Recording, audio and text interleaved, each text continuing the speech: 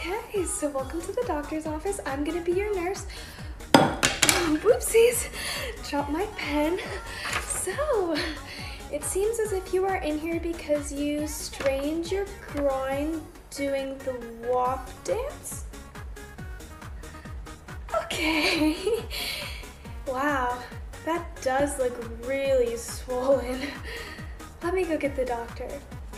I like your cut, G.